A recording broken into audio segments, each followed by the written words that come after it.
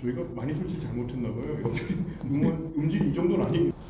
일단 썸띵이라는 노래 그렇게 태어났고 그 다음에 조지 에리슨이 그 당시에 수없이 많은 여자들한테 둘러싸이다 보니까 술과 마약에 빠지게 됩니다.